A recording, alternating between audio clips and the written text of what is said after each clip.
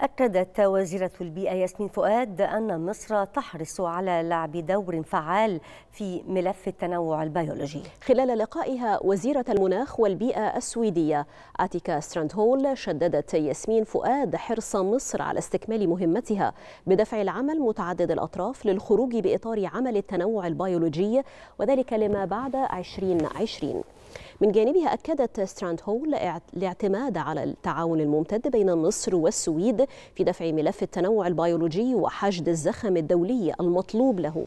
وكذلك تطلعها للخروج بإعلان طموح من مؤتمر المناخ يضم استجابات عاجلة ونتائج تدفع أجندة العمل المناخي خاصة في مجال التخفيف والخسائر والأضرار.